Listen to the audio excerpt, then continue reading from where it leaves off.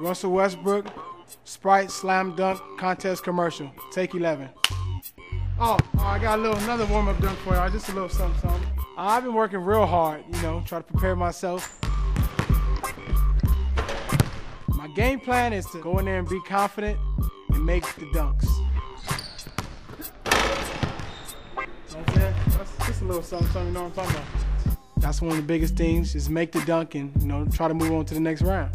I just might, just might use, this might be a little something, something, might, might go, in the repertoire. Uh, the kind of dunks I'm working on is, you know, I can't give y'all too much. You know, maybe throw a lob, jump over it. Might use a couple props. Might use my teammates. That's a good, that's a, that's a good throw right there. Maybe keep working on that timing. Throwing off the backboard, maybe the shot clock. I might just throw it off the wall, something like this.